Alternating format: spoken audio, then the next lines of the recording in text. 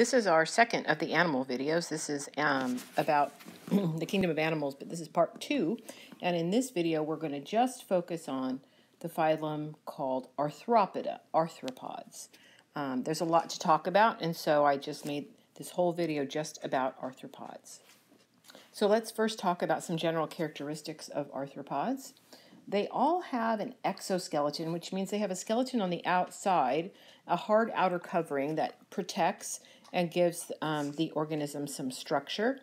And because they have a skeleton on the outside, as they grow, they have to molt. Molting means they have to shed their skin or shed their shell, their outer covering, as they grow because inside they're growing larger and they can't fit in there anymore.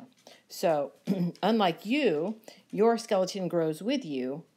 Um, instead, for an arthropod, their skeleton doesn't grow um, as they grow, but instead they have to grow an, a second skeleton on the inside as they're growing, and then they have to shed the outer one and have the new one underneath. That's called molting.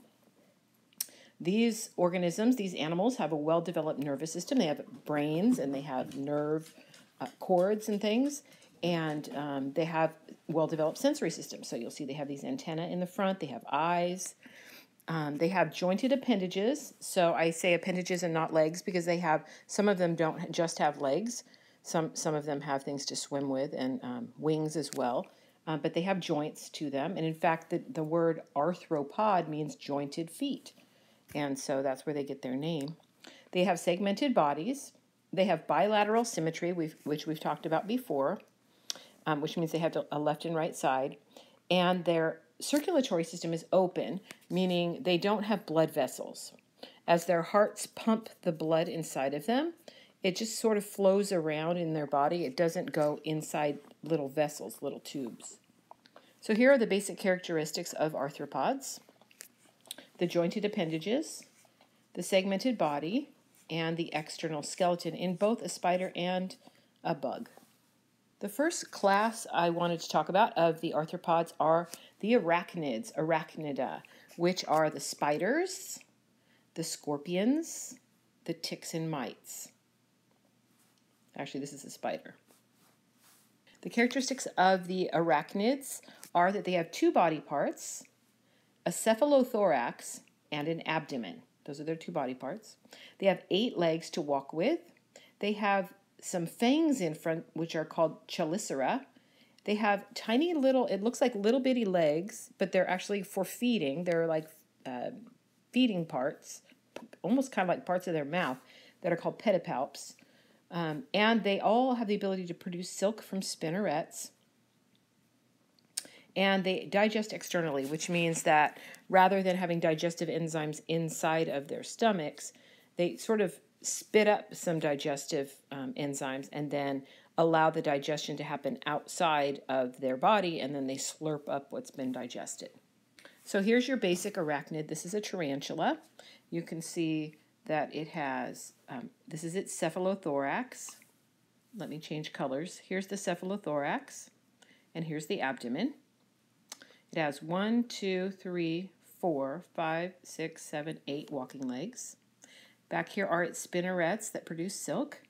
And then you see these tiny little, they almost look like little bitty baby legs. These are the pedipalps. You can't see the chelicera from here, but those are your basic characteristics of um, arthropods. I'm sorry, arachnid. In this in this particular um, spider, you can see once again the pedipalps in front, the teeny little legs, for, which are for feeding, and then you can see the chelicera here, the fangs. Um, and then you have, of course, eyes in front. On the inside, you can see inside the arachnid, you can see it's quite complex. It's got a lot going on. Um, you do see the chelicera here and its mouth. You see the pedipalp in front. And then it's got a breathing apparatus called the book lung. You can see it's got a digestive tube. This is a female, so it shows an ovary. It's got sort of a large heart that's kind of one pumping organ. It does have a small brain. The next group that I wanted to talk about of the arthropods are the crustaceans, class Crustacea. This includes crabs, lobsters, and even roly polies, the pill bugs we talked about earlier. Most of these are aquatic. So they live in the water. It might be marine. Some of them live in the ocean water. They have two body parts, just like the arachnids did, the cephalothorax and the abdomen. In crustaceans, the cephalothorax is covered by um, a calcium carbonate shell called a carapace. It ha- they have many paired appendages, sometimes 10 or 12 paired appendages, taking many forms. Some of them are for swimming. They have two antennae on their head, and their mouth parts are called mandibles, and they're for crushing food. So they have the ability to crush up their food with their uh, mouth. So here are some of the um, crustaceans. Here's our pillbug friend. That's a terrestrial um, crustacean. And here's a shrimp. We have a couple of different crabs here so you can see their body parts. Lots of paired appendages here. You see the uh, antenna in the front. Um, so these are the characteristics that you notice in crustaceans. Here's a diagram of a sand shrimp. You can see all the many walking legs and swimming legs. It's got a tail even. It's got the carapace, eyes in front. And then here's a lobster. You can kind of see inside this one. Again, similar to the um, arachnid, you've got a digestive system, you've got a small brain, you've got the mouth there, many appendages here. You've got um, digestive gland and a heart for pumping blood. Finally, the third class I wanted to talk about are the insects, class Insecta. These are the most numerous of all the arthropods, living in all kinds of environments.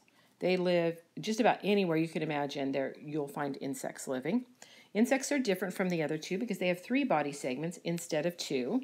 They have a head, a separate head with mouth parts, antenna, and eyes there. They have a thorax, which is the attachment for the legs and the wings, and they have an abdomen, which has all their internal organs. So there's there's segmentation of function even in insects. So here's a diagram of your typical insect. This is a grasshopper. You have here the head, the thorax, and the abdomen. So this here is the head. Um, even though the thorax ends right here, everything is attached to the thorax. That's for movement. So the wings are attached here. The, even these uh, big strong legs in back are. These legs are and the front legs are as well. So all the legs and the wings are always attached to the thorax. And then within the, the abdomen back here is where you'll find all the um, internal organs. Mm. Here's the inside of the grasshopper. You can see that it's got a crop. That's how it digests its food. It has what's called a cerebral ganglion, which is basically like a small brain.